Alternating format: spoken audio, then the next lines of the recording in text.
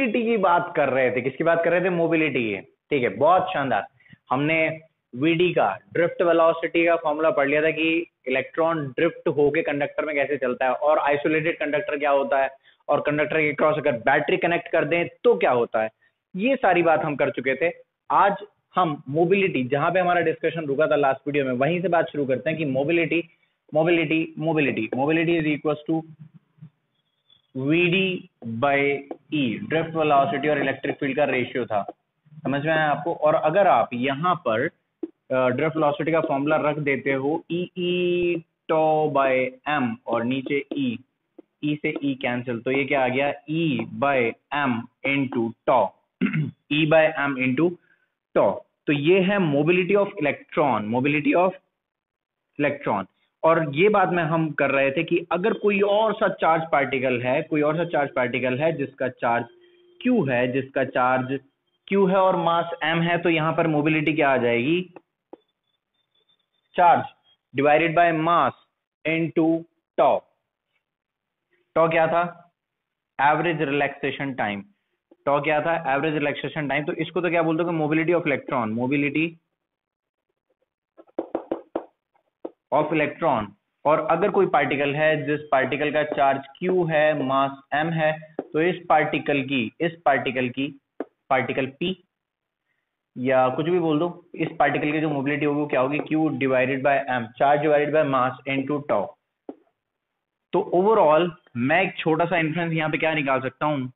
Mu is directly proportional to charge by mass ratio mobility depends mobility of particle depends on charge by mass ratio mobility of particle depends on charge by mass ratio mobility of particle depends on charge by mass ratio जितना ज़्यादा charge by mass ratio जितना ज़्यादा charge by mass ratio होगा उतनी ज़्यादा mobility होगी उतना ज़्यादा particle easily move कर पाएगा उतनी ज़्यादा अच्छे से मूव कर पाएगा बात समझ में आ गई क्या जल्दी से लिख लो इस वाली बात को कि मोबिलिटी हाँ एक और बात मैं आपको बताऊँ कि मोबिलिटी ई e के इनवर्सली प्रोपोर्शनल जैसे लिखा है यहाँ पे कि मोबिलिटी ई e के इनवर्सली प्रोपोर्शनल है।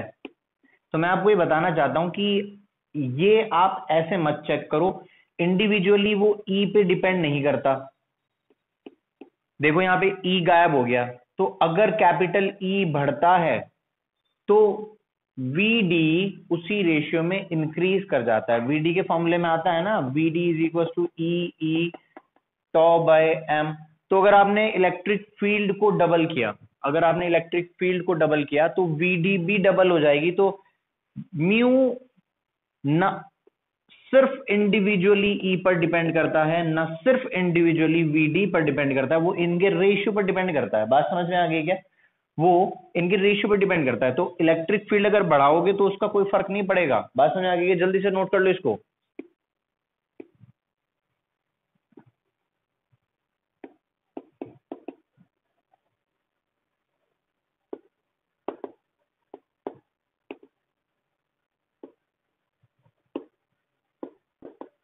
क्योंकि जिस रेशियो में आप ई e बढ़ाओगे वीडी बढ़ जाएगा ओवरऑल म्यू पे कोई फ़र्क नहीं पड़ेगा। जल्दी से पॉज करके कॉपी कर लो।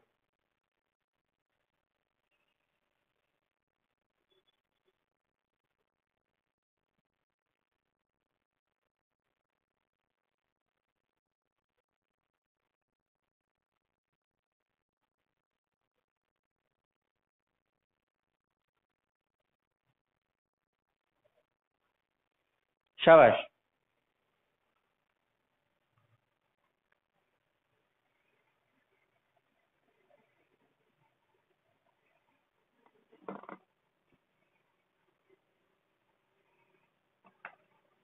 तो लिख लेना mu do not depend mu does not depend individually on E और एक और बात टेम्परेचर पे मोबिलिटी कैसे डिपेंड करती है? कि टेम्परेचर इंक्रीज करता है तो टॉ डिक्रीज होता है। ये हम बात अभी कर चुके हैं। इससे पहले वाली वीडियो में हम कर चुके हैं कि जैसे जैसे टेम्परेचर इंक्रीज करता है टॉ डिक्रीज करता है। जैसे जैसे टेम्परेचर इंक्रीज करता है टॉ डिक्रीज करता है। और टॉ का डिक्रीज करना, आप समझ रहे हो?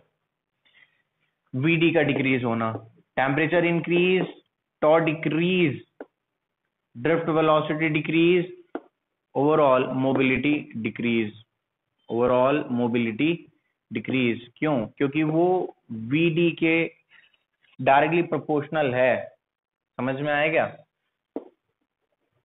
तो ध्यान से सुनो कि टेम्परेचर बढ़ेगा रिलैक्सेशन टाइम डिक्रीज होगा और वीडी भी डिक्रीज होगा। अगर कोई बच्चा समझना चाहता है और वो मेरे से पूछता, सर, समझ में नहीं आया। अगर मैं उसको आमने सामने पढ़ा रहा हूँ तो मेरे से पूछता कि, सर, मुझे समझ में नहीं आया। तो मैं उसको बहुत प्यार से एक बात फिर से समझाता है कि जब टेम्परेचर बढ़ता है तो थर्मल एनर्जी बढ़ जाती है। क्या बढ़ जाती है? थर्मल एनर्जी बढ़ जाती है और वो जल्दी से मूव करना चाहता है और एकदम टकरा जाता है दूसरे से। और टकरा जाता है तो रिलैक्सेशन टाइम कम हो गया ना। क्या कम हो गया? रिलैक्सेशन टाइम जल्दी टकरा गया। जल्दी टकराने से क्या होता है? उसकी ओवरऑल एवरेज वेलोसिटी डिक्रीज कर जाती है। वो फास्ट मूव कर रहा है डेफिनेटली आपकी बात बिल्कुल सही है कि टेम्परेचर इंक्रीज करना, इसका मतलब उसके पास बहुत सारी एनर्जी आ गई, वो जल्दी से मूव करना चाहेगा, लेकिन जल्दी के चक्कर में और टकरा जाता है, देर में मूव करता है। आप इस बात को समझो। बात समझ में आ गई कि तो वीडी डिक्रीज कर जाती है। क्या डिक्रीज कर जाती है? वीडी रिलैक्सेशन टाइम डिक्रीज कर गया वीडी डिक्रीज कर गई और वीडी डिक्रीज कर गई ओवरऑल तो मोबिलिटी डिक्रीज कर गई। ये बात समझ में आनी चाहिए कि मोबिलिटी टेम्परेचर के इन्वर्सली प्रोपोर्शनल है मोबिलिटी टेम्परेचर के इन्वर्सली प्रोपोर्शनल है मोबिलिटी टेम्परेचर के इन्वर्सली प्रोपोर्शनल है मोबिलिटी टेम्परेचर के इन्वर्सली प्रोपोर्शनल है। टेम्परेचर बढ़ा मोबिलिटी घटी। सुन, सोच के ऐसा लगता है कि यार जितना टेम्परेचर बढ़ेगा, उतनी ज़्यादा एनर्जी आ जाएगी, उतना तेज इलेक्ट्रॉन दौड़ेगा मोबिलिटी बढ़ जाएगी। लेकिन ऐसा नहीं होता नहीं होता नहीं होता टेम्परेचर बढ़ता है तो मोबिलिटी डिक्रीज कर जाती है। क्या आपको मेरी बात समझ में आई? जल्दी से कॉपी करो इसको। Mobility is inversely proportional to temperature mobility is inversely proportional to temperature mobility is inversely proportional to temperature जल्दी से कॉपी कर लो, शाबाश। सर अगर मैं ऐसा बोल रहा हूँ टेम्परेचर और ये इन्वर्सली प्रोपोर्शनल होती है तो मैं ऐसे बोल सकता हूँ कि वो टॉ के डायरेक्टली प्रोपोर्शनल है। हाँ बिल्कुल बोल सकते हो, क्या दिक्कत है? बिल्कुल बोल सकते हो, क्या दिक्कत है? इन सब का कंक्लूजन ये है कि ओवरऑल मोबिलिटी डिक्रीज कर जाएगी। समझ में आया क्या? और हमने साथ में ये दो बातें और समझ ली कि इसका मतलब वो टेम्परेचर इंडस्ट्री प्रोपोर्शनल और रिलैक्सेशन टाइम के डायरेक्टली प्रोपोर्शनल है। That's it pause copy I am going to rub this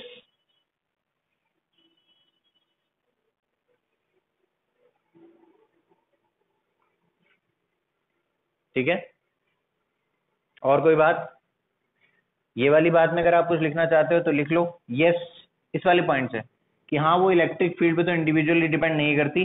लेकिन मोबिलिटी ड्रिफ्ट वेलोसिटी के डायरेक्टली प्रोपोर्शनल है कीपिंग इफ़ ई कांस्टेंट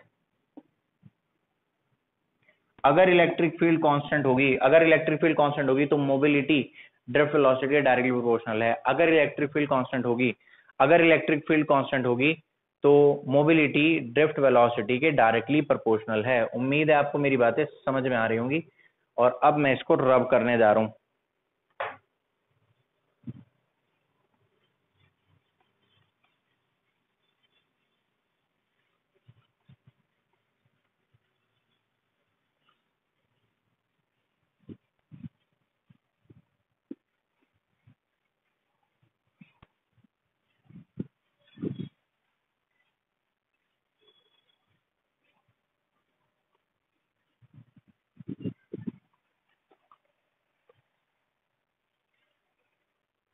ध्यान से सुनो मेरी बातें।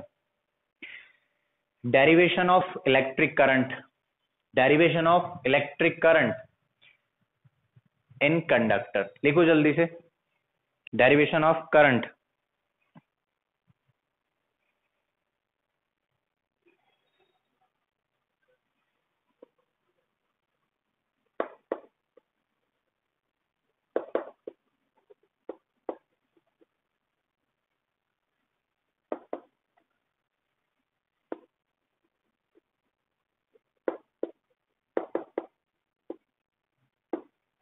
in terms of drift velocity in terms of drift velocity or average velocity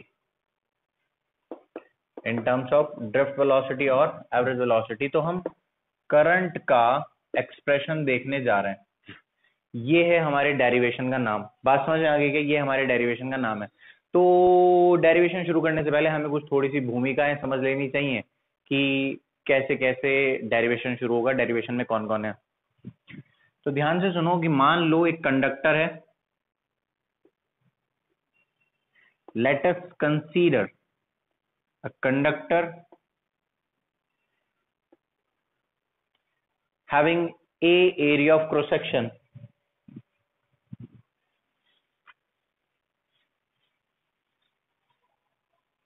मान लो ये कोई कंडक्टर है और इस कंडक्टर का जो एरिया ऑफ़ क्रॉस सेक्शन है, मान लीजिए वो ए मीटर स्क्वायर है और जो लेंथ है इसकी, उसको मान लीजिए एल तो इसका वॉल्यूम कितना हो जाएगा प्रभु? ए इंटू एल तो मेरी बात सुनो। पेरिस कंसीडर दिस कंडक्टर मेरे साथ साथ लिख लो। consider this conductor of A area of cross section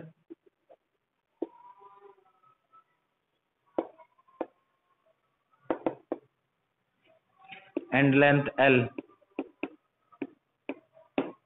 समझ में आया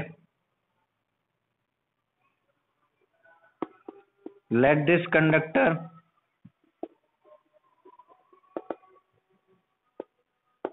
is having small n electrons per unit volume.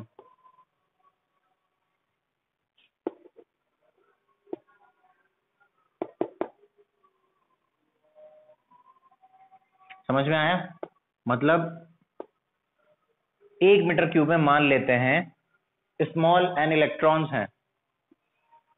समझ में आया?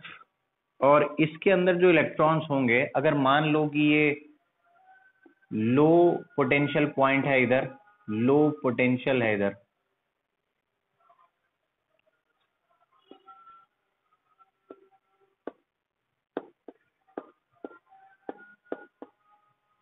और ये है हाई पोटेंशियल पॉइंट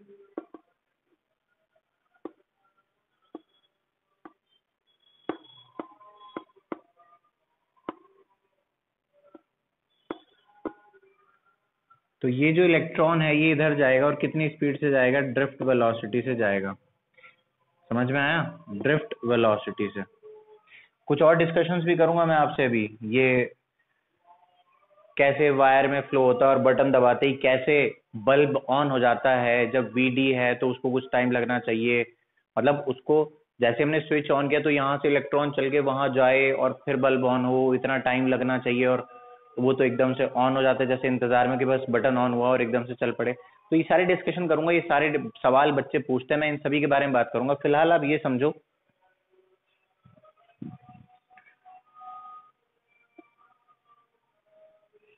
ठीक है is having small N electrons per unit volume ठीक है भाई तो अब एक बात सुनो। टोटल नंबर ऑफ़ इलेक्ट्रॉन्स कितने हो गए होंगे? इस पूरे कंडक्टर में टोटल नंबर ऑफ़ इलेक्ट्रॉन्स कितने हो गए होंगे? अगर इसके पर यूनिट वॉल्यूम स्मॉल एन है तो भैया टोटल वॉल्यूम में कितने हो जाएँगे? Total volume into small N समझ में नहीं आई बात। अगर small N electrons per unit volume है तो पूरे कंडक्टर में कितने इलेक्ट्रॉन्स हो जाएँगे? Small N into area into length मतलब वो वॉल्यूम लिखो और उसको स्मॉल एन से मल्टीप्लाई कर दो। बात समझ में आ गई क्या? तो आपको टोटल नंबर ऑफ़ इलेक्ट्रॉन्स मिल जाएँगे। Capital N, total number of electrons will be equals to small n into a into L. समझ में नहीं आई बात? Number of electrons per unit volume small N है। Number of electrons per unit volume कितने हैं? Small N into sorry small N तो total volume कितना है बाबा? टोटल वॉल्यूम कितना है? Area of cross section into length तो क्या आ जाएगा? टोटल वॉल्यूम है ये। क्या है ये? टोटल वॉल्यूम बात समझ में आ गई कि नहीं आ गई? तो ध्यान से सुनो। अगर करंट इधर फ्लो हो रहा है,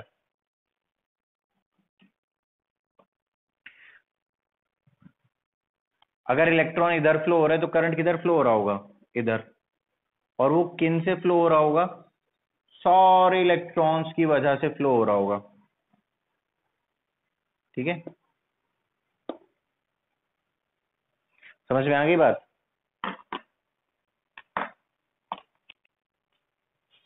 ये हाई पोटेंशियल है, ये लो पोटेंशियल है तो कुछ इलेक्ट्रिक फ़ील्ड भी होगी। इधर से इधर की तरफ़। बात समझ में आ गई क्या? पोटेंशियल डिफरेंस भी होगा प्लस माइनस वी का, ठीक है? ये सब बातें आप और लिख देना, कोई दिक्कत नहीं है। सारी बातें एक एक करके मेंशन कर दो। ठीक है? अब बात सुनो। टोटल नंबर ऑफ़ इलेक्ट्रॉन्स कितने हो गए? Small N into A into L तो टोटल चार्ज कितना हो जाएगा? Total charge capital Q will be equal to total number of electrons into electronic charge total number of electrons into electronic charge समझ में आया क्या? तो कैपिटल एन कौन है? टोटल नंबर ऑफ़ इलेक्ट्रॉन्स तो वो कितना है? Small n into A into L into E बात समझ में आ गई क्या? तो ये हो गया total number of charge total amount of charge बात समझ में आ गई क्या? और मान लो मान लो कि टी टाइम लग गया। एक एंड से दूसरे एंड तक जाने में मान लो कितना टाइम लग गया? यहाँ से यहाँ तक जाने में मान लो कितना टाइम लग गया? स्मॉल टी बात समझ में आ गई कि नहीं आ गई?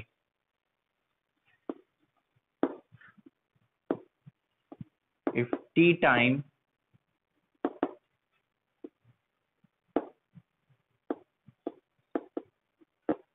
is taken by electrons to flow. Then current क्या हो जाता है? Total charge divided by total time तो कितना हो जाएगा? Small n into A into L into E divided by T L divided by T क्या होता है? V D length divided by time आप सिर्फ़ एल और टी को देखो। यहाँ पे जो लिखा है एन ए एल ई और डिवाइडेड बाय टी तो ये एल डिवाइडेड बाय जो टी है ना, ये वी डी है। लेंथ डिवाइडेड बाय टाइम क्या होता है? स्पीड और कितनी स्पीड से वो फ्लो कर रहा है? N A into V D E electronic charge तो करंट का फॉर्मूला क्या आ गया? N E A V D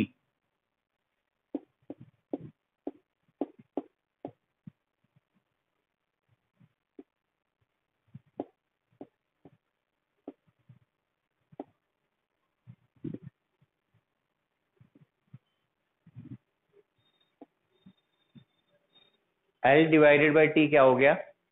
L divided by T क्या हो गया? वी डी तो करंट का फॉर्मूला क्या आ गया? N E A V D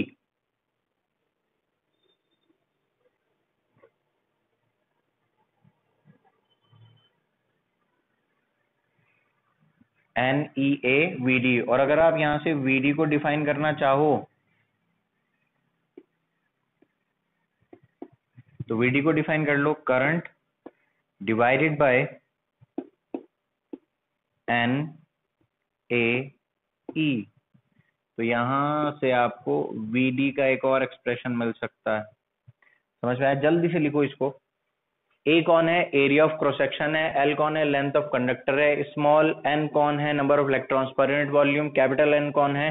total number of electrons तो टोटल चार्ज क्या हो गया? क्यू तो total charge divided by total time T क्या है? जितना टाइम लगा। तो total charge divide by total time क्या देगा आपको? करंट देगा। टोटल चार्ज की जगह क्या रहेगा N A L into E N A L into E electronic charge है, ठीक है? तो क्या फॉर्मूला बन गया? ये एल बाई टी को मैंने क्या लिख दिया? V D length divide by time क्या होती है? स्पीड होती है। लेंथ डिवाइडेड बाई टाइम क्या होती है? स्पीड तो आपको क्या मिल गया? N E A V D समझ में आया क्या पॉज करके कॉपी करो, मुझे रब करना है। शाबाश। जल्दी से कॉपी करो।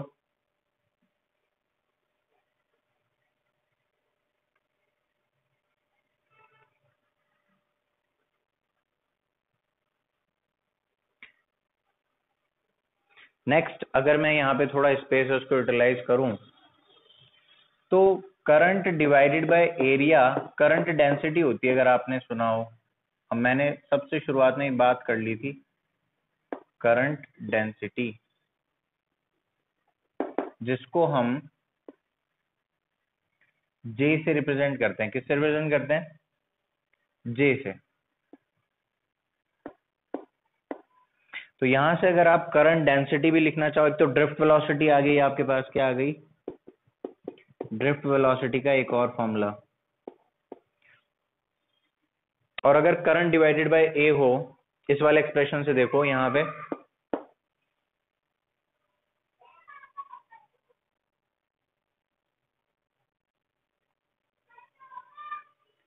तो current divided by area current density होता है। आपको हमने पहले भी बताया कि करंट डिवाइडेड बाय एरिया क्या होता है? करंट डेंसिटी तो इस वाले एक्सप्रेशन से अगर आप देखो कि I equal to N E A V D था तो करंट के नीचे अगर मैं एरिया ले आऊँ तो क्या एक करंट डेंसिटी बन जाएगा? तो करंट डेंसिटी भी लिखना हमारे लिए बड़ी बात नहीं है। उसका भी फॉर्मूला क्या हो जाएगा? N E V D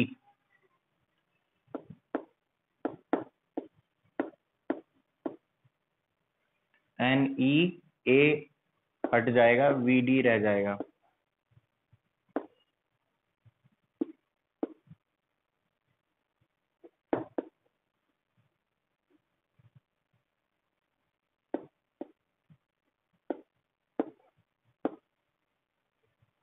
current density बात समझ में आ गई क्या? करंट डेंसिटी शाबाश।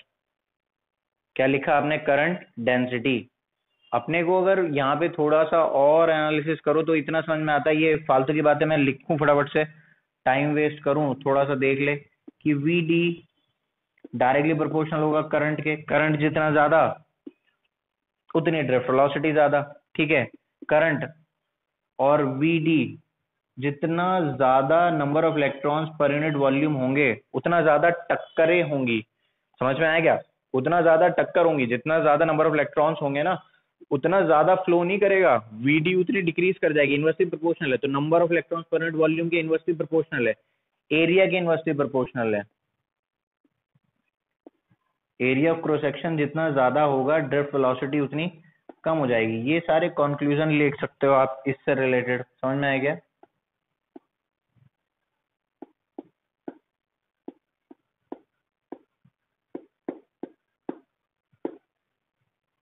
पॉज करके कॉपी करो।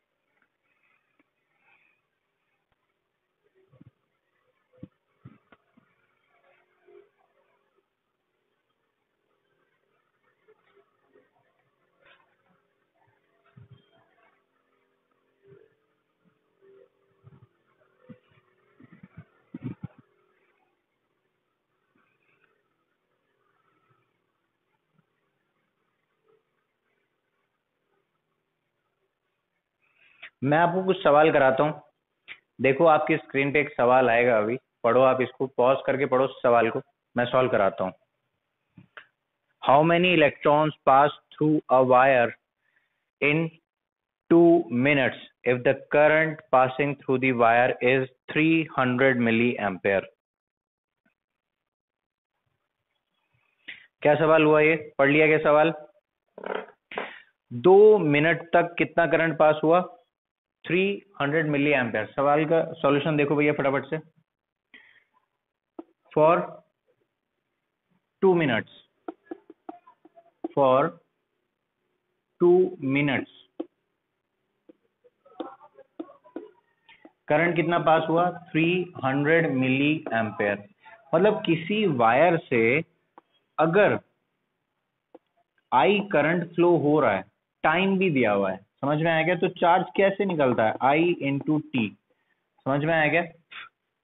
इस कंडक्टर से कितना चार्ज फ्लो हो जाएगा किसी पर्टिकुलर पॉइंट से, किसी पर्टिकुलर पॉइंट से, किसी भी पॉइंट से? अगर आई इतना था आई इतना था 300 मिली एम्पेयर और टू मिनट्स तक तो आई क्या लिखोगे? 300 मिली एम्पेयर हमेशा यूनिट्स का ध्यान रखेंगे। Ten raise one minus three use करेंगे और बात इतनी है कि उनकी फॉर्मूला क्या होता है? चार्ज डिवाइडेड बाय टाइम और ये होता है कुलम और ये होता है सेकेंड ये होता है कुलम और ये होता है सेकंड तो इस बात को समझना है आपको कि कुलम पर सेकंड तो इसको आप टाइम को किसमें रखोगे? सेकंड में रखोगे। तो टू इंटू सिक्सटी सेकेंड और यहाँ पे क्या है? कुलम पर सेकेंड एम्पेयर है ना ये? कुलम पर सेकेंड ये यूनिट क्या बन जाएगी? कुलम। सेकेंड से सेकेंड हो जाएगा कैंसिल तो ये आएगा आपका आंसर समझ में आया क्या? आंसर भी अगर मैं आपको बताऊँ तो आंसर है इसका। ओ, अपने को क्या निकालते हैं? नंबर ऑफ़ इलेक्ट्रॉन्स तो ये तो कितना आ गया कि कितना चार्ज फ्लो हुआ। और अगर वो आपसे पूछ रहा है नंबर ऑफ़ इलेक्ट्रॉन्स तो एक इलेक्ट्रॉन पे कितना चार्ज होता है? 1.6 वन इलेक्ट्रॉनिक चार्ज कितना होता है? 1.6 point six into ten raise to power minus nineteen coulomb तो अगर एक इलेक्ट्रॉन पे इतना चार्ज है तो इतना सारा चार्ज कितने इलेक्ट्रॉन को मिला के हो जाएगा? तो भैया, यहाँ पे आप इलेक्ट्रॉनिक चार्ज से डिवाइड कर दो। तो ओवरऑल आपका फॉर्मूला क्या बन गया? अगर आपको नंबर ऑफ़ इलेक्ट्रॉन्स निकालने हैं N total number of electrons किसके को आ जाएगा? Total charge divided by electronic charge यानी कि I into T divided by electronic charge बात समझ में आ गई क्या? तो I T divided by E कितना आ जाएगा ये? 300 हंड्रेड इंटू मैं सिंपली कर सिंप्लीफाई अच्छा ले, लिख ले. 300 hundred into one twenty into ten raise to power minus three और यहाँ पे क्या आएगा? 1.6 point six into ten raise to power minus nineteen इसको सॉल्व करके आ रहा है आपका 2.25 2.25 into 10 raised to power 20 electrons. Pause करके कॉपी कर, शाबाश, मैं रब कर रहा हूँ।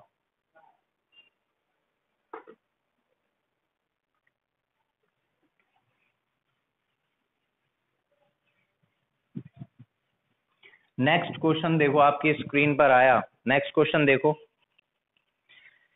In an atom an electron revolve around the nucleus star mark लगाना इस सवाल पे, सवाल पढ़ो जल्दी से।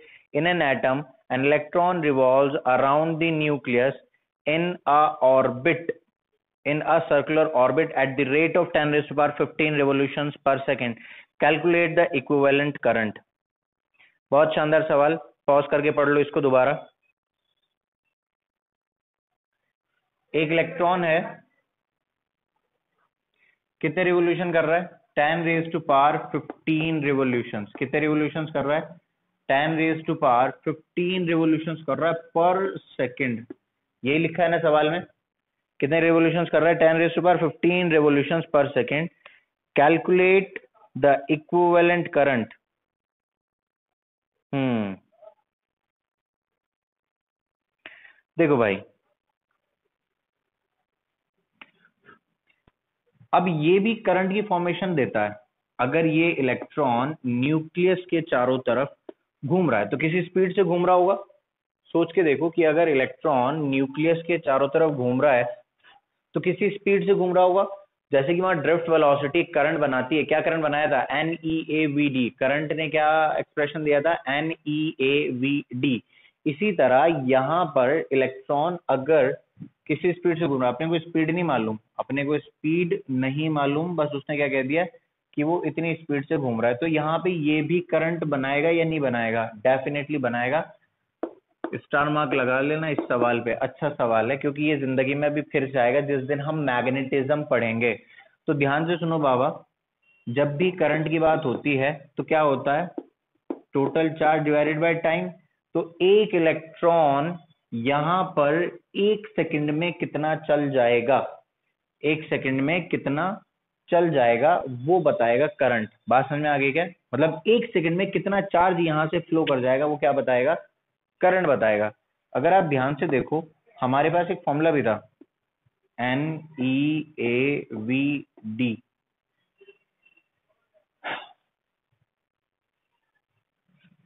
फ़िलहाल आप यहीं पे ध्यान दो।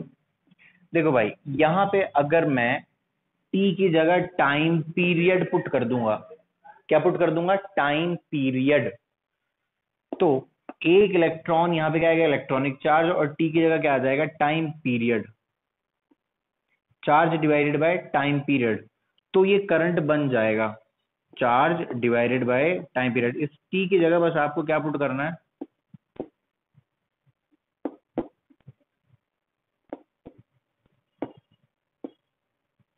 टाइम पीरियड तो अगर ten raised power fifteen revolution per second घूम रहा है पर सेकंड समझ में आया?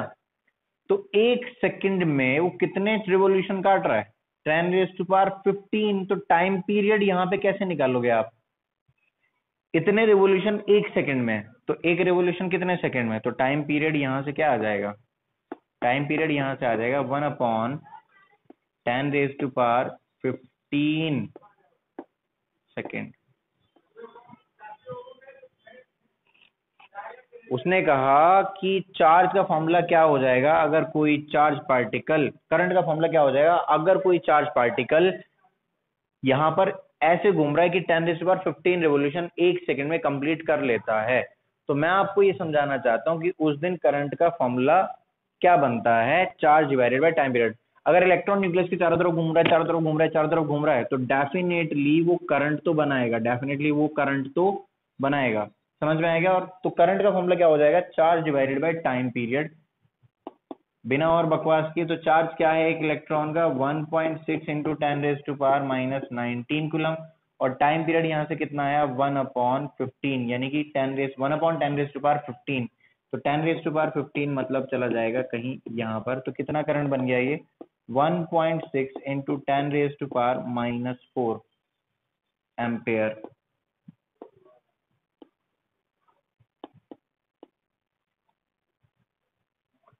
pause करके कॉपी करो, शाबाश।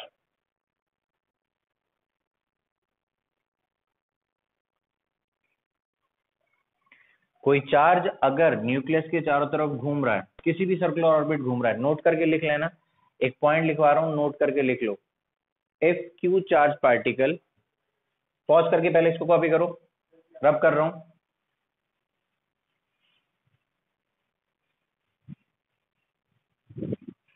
नोट क्या है? If Q charge particle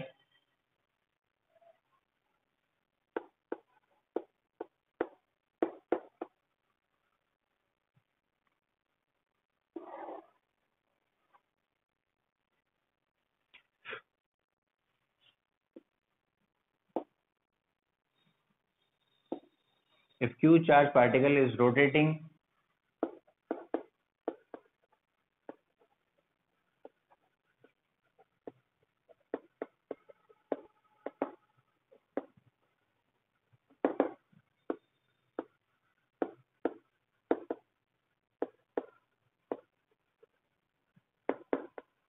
circular orbit with capital T time per with capital T time period then current will be equals to q divided by capital T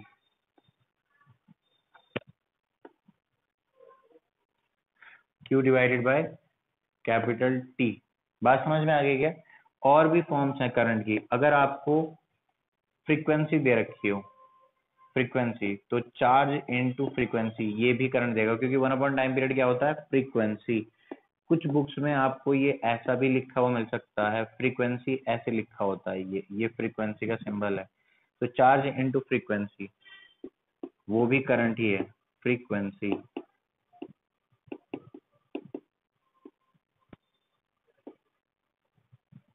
समझ में आया? अगर एंगुलर फ्रीक्वेंसी दे दे। क्या दे दे?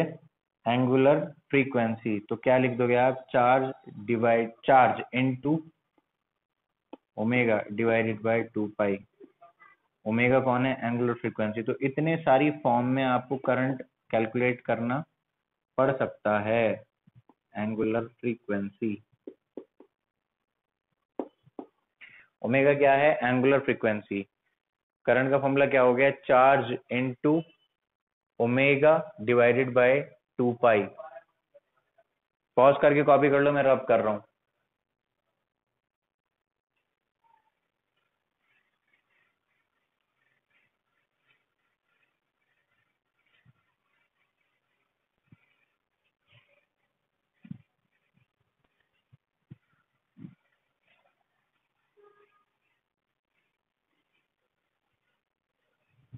Next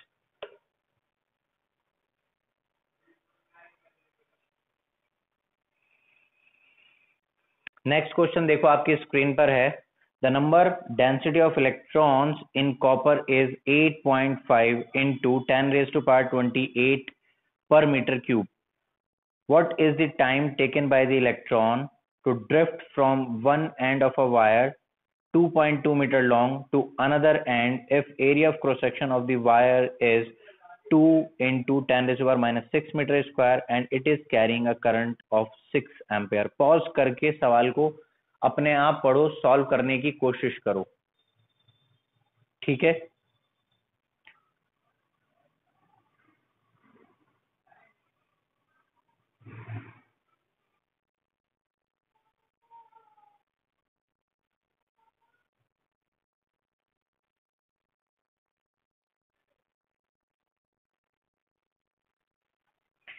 ध्यान से सुनो। उसने कंडक्टर दिया है। कंडक्टर के अंदर number of electrons per unit volume दिए हैं। ठीक है? करंट दिया है। ठीक है? एरिया ऑफ़ क्रॉस सेक्शन दिया है। तो ओवरऑल आपको उसने सारी चीज़ें बता दी, लेकिन टाइम पूछ लिया। तो मुझे तो इतना पता है। उसने आपको क्या क्या बताया? Number of electrons per unit volume बताया एरिया ऑफ़ क्रॉस सेक्शन बताया लेंथ बताई और करंट बताई। क्या आप इन सभी में कोई रिश्ता जानते हैं? कोई ऐसा एक्सप्रेशन हाँ जी, एक एक्सप्रेशन तुमने देखा है N E A V D समझ में आया? सर वी डी तो गिवन नहीं है। स्मॉल एन गिवन है इलेक्ट्रॉनिक चार्ज हमें पता है इलेक्ट्रॉनिक चार्ज कितना होता है? 1.6 point six into ten raise to power minus nineteen coulomb sir मुझे याद नहीं रहता। दस बार लिखो, जैसे ए फॉर एप्पल लिखते थे, पचास सौ बार, तब जाके याद हुआ था बचपन में। तो इसको लिख लो आठ दस बार अब याद हो जाएगा। तो यहाँ से सबसे पहले आप क्या निकाल लोगे वीडी निकाल लोगे कैसे? करंट गिवन है गिवन है स्मॉल एन गिवन है ई इलेक्ट्रॉनिक चार्ज गिवन है ए गिवन है। वीडी जब आ जाएगी तो सेकंड स्टेप पे, ये तो स्टेप वन हो गया। क्या हो गया? स्टेप वन स्टेप टू में आप क्या देखोगे कि V D length divided by time होता है। हमने देखा था ये अभी जब डेरिवेशन किया था तो यहाँ से जब आपको टाइम निकालना होगा तो length divided by V D कर दो। समझ में नहीं आया। लेंथ गिवन है। और वी डी हमने यहाँ से सॉल्व कर लिया। समझ में आया क्या? वी डी आपने यहाँ से सॉल्व कर लिया। सवाल हो गया। पॉज करके कॉपी कर लो। सॉल्यूशन भी मैं ही करूँ क्या? पॉज करके कॉपी कर लो। शाबाश।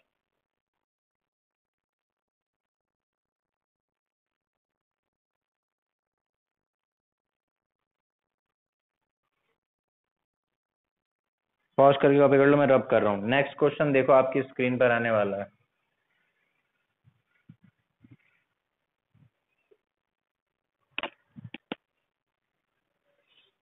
तो नेक्स्ट क्वेश्चन देखो, हमारे पास क्या है? आपकी स्क्रीन पर देखो, पढ़ो क्या लिखा है।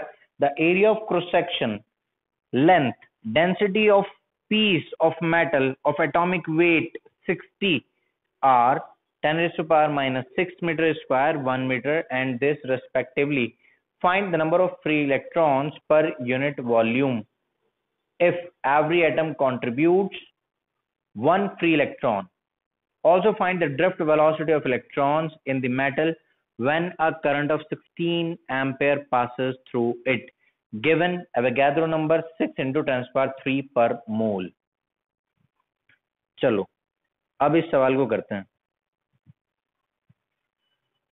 अगर मैं आपसे कहूँ, उसने वैसे दे ही दिया सवाल में, मुझे कुछ भी करने की ज़रूरत नहीं है। एटॉमिक वेट दिया है। क्या दिया है?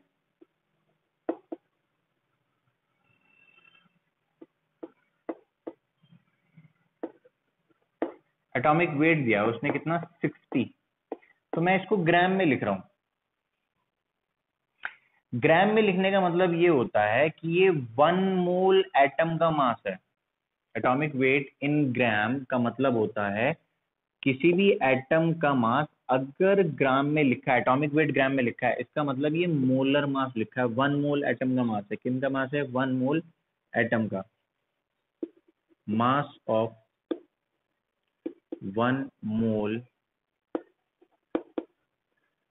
atoms समझ में आ गया? तो ध्यान से सुनना मेरी बात। अगर आप टोटल मास कैलकुलेट करने पे आ जाओ वो कैसे कैलकुलेट करोगे? Total mass area of cross section दिया है लेंथ दिया है गिवन है गिवन है इनटू डेंसिटी कर दो। वॉल्यूम इंटू डेंसिटी हो गया, क्या मास नहीं आ गया? तो टोटल मास आ गया। अब ये डेंसिटी भी आपको किसमें दी हुई है? ध्यान से देखो डेंसिटी की यूनिट क्या थी? डेंसिटी की यूनिट है केजी में। तो सबसे पहले तो आप इसको ग्राम में कन्वर्ट करोगे। या केजी में लिख लो, कोई प्रॉब्लम नहीं है।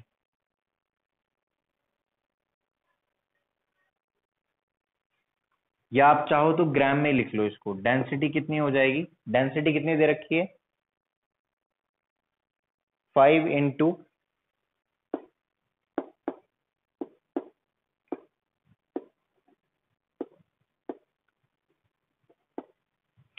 तो यहाँ से टोटल मास आ गया। अब अगर मैं नंबर ऑफ़ मोल्स निकालना चाहूँ, क्या निकालना चाहूँ? नंबर ऑफ़ मोल्स एक मोल एटम का मास ये लिखा तो नंबर ऑफ़ मोल्स कैसे निकलेंगे?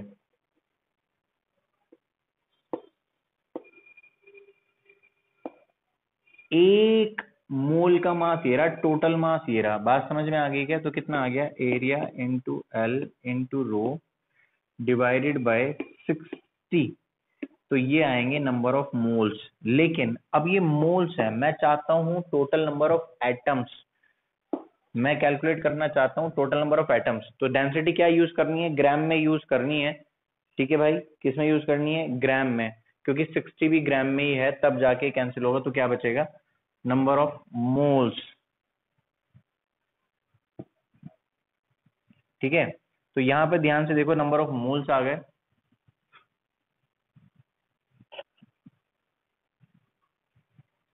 नंबर ऑफ़ मोल्स तो नंबर ऑफ़ एटम्स कैसे निकलेंगे? नंबर ऑफ़ मोल्स को मैं एवेगैद्रोस नंबर से मल्टीप्लाई कर दूँ, यानी कि A L rho divided by 60 into Avogadro's number क्या बोल गए, sir? Total number of atoms कैसे निकलेंगे? नंबर ऑफ़ मोल्स को एवेगैद्रोस नंबर से मल्टीप्लाई कर दो तो आपको टोटल नंबर ऑफ़ एटम्स मिल जाएँगे। मतलब ये मोल्स तो आ गए, और एक मोल में कितने होते हैं? एवेगैद्रोज नंबर तो इतने मोल्स में कितने होंगे? दिस इंटू एवेगैद्रोज नंबर तो नंबर ऑफ़ एटम्स आ गए। और यही है आपके number of electrons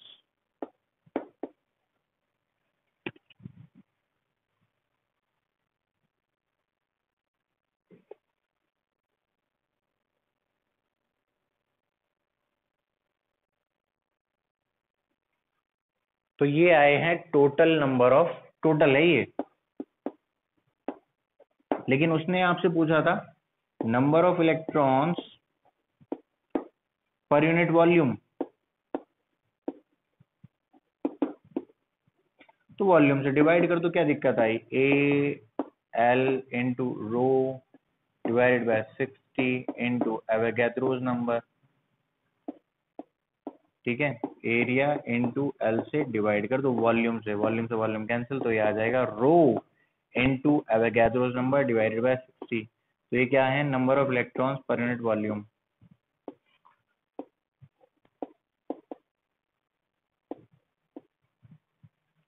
per unit volume दिख रहा है क्या?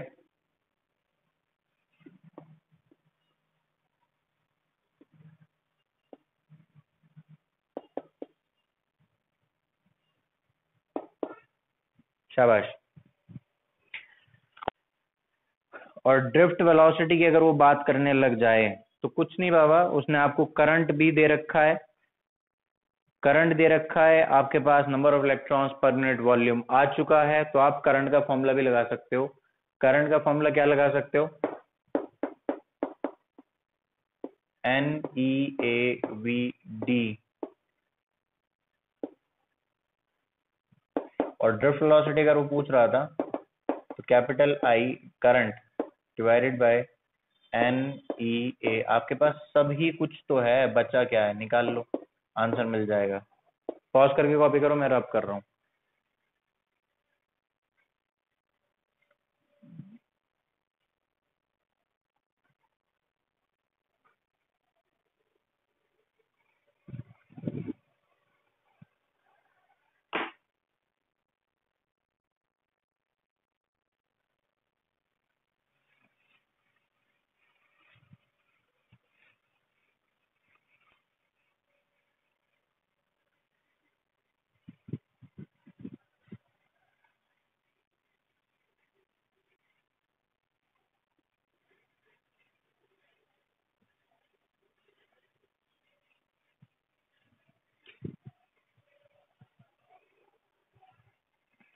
नेक्स्ट क्वेश्चन देखो, ये एनसीईआरटी e का है।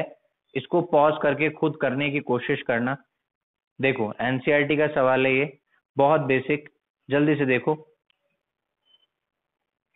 तो क्वेश्चन पढ़ते हैं, भैया estimate the average drift speed of conduction electrons in a copper wire of cross-sectional area 1 into 10 raised to power minus 7 meter square carrying a current of 1.5 ampere assuming that each copper atom contributes one conduction electron the density of copper is 9 into 10 power 3 kg per meter cube and its atomic mass is 63.5 atomic mass unit u atomic mass unit ठीक है B part क्या कह रहा है compare the drift speed obtained above with thermal speed of electrons carrying the current with thermal speed के साथ।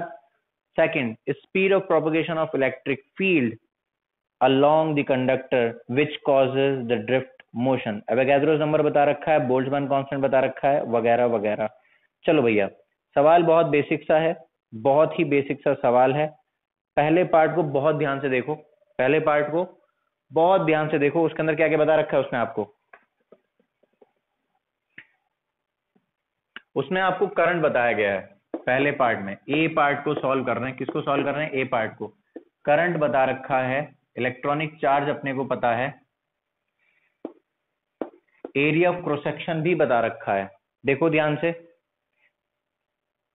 Pause करके सवाल को पढ़ो और उसको खुद सॉल्व करने की कोशिश करो। ठीक है? तो सब कुछ बता रखा है। करंट भी है। इलेक्ट्रॉनिक चार्ज भी है। एरिया भी है। बात समझ में आ गई क्या?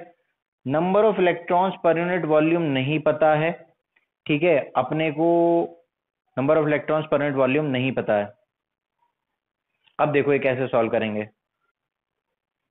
जैसे अभी अभी सॉल्व किया। कैसे? ये टोटल नंबर ऑफ़ इलेक्ट्रॉन्स हैं। तो टोटल नंबर ऑफ़ इलेक्ट्रॉन कैसे आएगा? सबसे पहले तो अपने को पता है कि भैया, अभी अभी तो देखा rho density into Avogadro's number Avogadro's number divided by atomic mass in gram में होना चाहिए ये।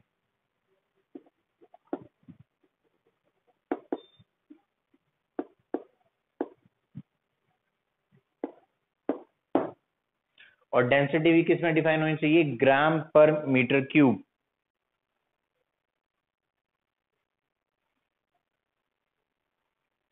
समझ में आया आपको? अभी अभी देखा हमने। तो number of electrons per unit volume भी हम आसानी से निकाल सकते हैं। कौन है डेंसिटी ये भी गिवन है। एवोगैड्रोस नंबर भी गिवन है एटॉमिक मास भी गिवन है तो 63.5 बस आप इसको यहाँ ग्राम कंसीडर कर लेना। और इसको डेंसिटी को भी इन ग्राम पर मीटर क्यूब ही रखना। समझ में आया? ठीक है? तो ये आएगा आपके पास स्मॉल एन तो आपने स्मॉल एन भी निकाल लिया। तो ड्रिफ्ट वेलोसिटी क्या आ जाएगी? वी डी करंट का फॉर्मूला क्या होता है? N E A V D तो ड्रिफ्ट वेलोसिटी का फॉर्मूला क्या हो गया? Current divided by N E A समझ में आया? Current divided by N E A तो ये आ गई ड्रिफ्ट वेलोसिटी ड्रिफ्ट वेलोसिटी का फॉर्मूला आने के बाद बी पार्ट को देखो. बी पार्ट में क्या करवा रहा है? कंपैरिजन करवा रहा है. क्या करवा रहा है? कंपैरिजन क्या करवा रहा है? कंपैरिजन कंपैरिजन किसके साथ? सबसे पहले थर्मल वेलोसिटी के साथ। तो बी पार्ट अगर आपने ए पार्ट कर लिया हो तो मैं इसको रब कर दूँ। सर ये याद रख लें क्या? याद रख लो तो अच्छी बात वरना जैसे इससे पहले पार्ट में सॉल्व किया है उसको आप समझने की कोशिश करो कि कैसे हम यहाँ तक पहुँचे थे। सबसे पहले तो क्या भैया?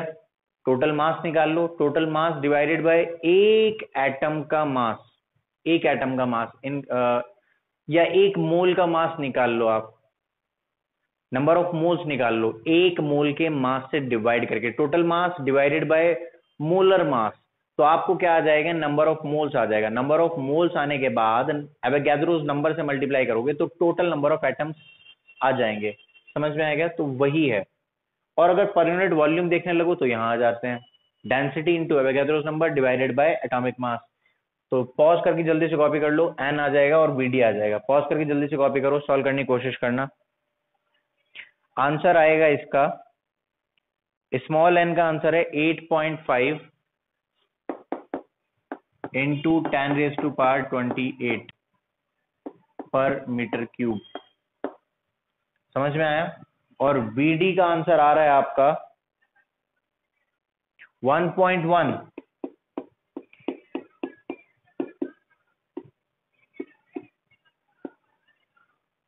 metre per second one point one into tens power minus three metre per second. Pause करके कॉपी करो रब करता हूँ मैं जल्दी से।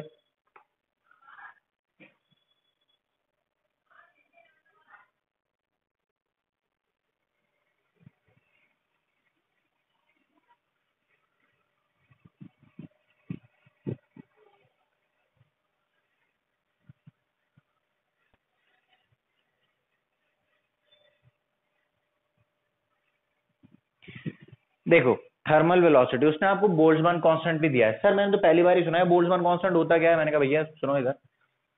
तो थर्मल वेलोसिटी का जो फॉर्मूला है three by two K T के कौन है? बोल्ट्जमैन कांस्टेंट कैपिटल टी कौन है? टेम्परेचर तो इसको रूम टेम्परेचर पुट करोगे आप। क्या पुट करोगे? रूम टेम्परेचर रूम टेम्परेचर कितना होता है? ट्वेंटी डिग्री सेल्सियस और क्या कह सकते हो आप?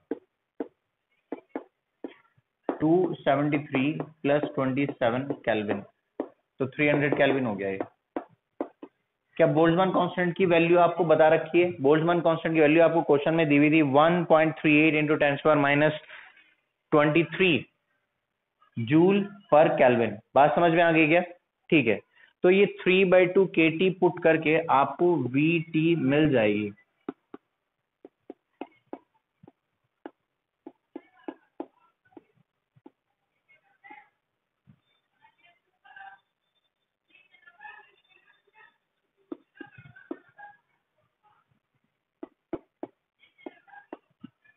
और इसको सॉल्व करके आ रहा है आपका वीटी आ रहा है। 1.17 point one seven into ten power five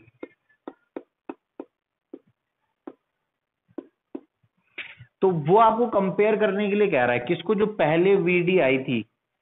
तो पहली बार तो आपको कंपेयर करने के लिए कहा उसने वीटी के साथ। एक तो ये रेशियो कैलकुलेट कर रहे हैं आपको। और दूसरा उसने आपको कैलकुलेट करने के लिए कहा कि जिस स्पीड से इलेक्ट्रिक फ़ील्ड प्रोपोगेट कर रही तो मैं आपको बताऊँ इलेक्ट्रिक फ़ील्ड लाइट की स्पीड से प्रोपोगेट करती है। इलेक्ट्रिक फ़ील्ड लाइट की स्पीड से प्रोपोगेट करती है। इलेक्ट्रिक फ़ील्ड लाइट की स्पीड से प्रोपोगेट करती है तो उसकी स्पीड क्या हो जाएगी? स्मॉल सी बात समझ में आ गई क्या? तो वीडी को एक बार आप वीटी से डिवाइड करके दिखाओ वीडी को एक बार आप सी से डिवाइड करके दिखाओ तो आपको दोनों आंसर मिल जाएँगे। ठीक है तो ये थे सारे सवाल। तो आप एनसीआरटी के, किसी भी बुक के इन फॉर्मूले पे बेस्ड जितने भी सवाल हैं, वो सब कर सकते हैं। ठीक है? सारे कॉन्सेप्ट मैं आपको बता चुका हूँ, कुछ क्वेश्चंस भी हमने ट्राई किए हैं। नेक्स्ट वीडियो में हमारी बात होने वाली है ओम्स लॉ से रिलेटेड नेक्स्ट वीडियो बहुत इंपॉर्टेंट है। सीबीएसई पॉइंट ऑफ़ व्यू से और कंपटीशन पॉइंट ऑफ़ व्यू से भी बहुत इंपॉर्टेंट है। बात समझ में आ गई क्या? तो जल्दी से पॉज करके इसको कॉपी कर लो। नेक्स्ट वीडियो में ओम्स लॉ के साथ मिलते हैं। तब तक के लिए bye bye see you soon enjoy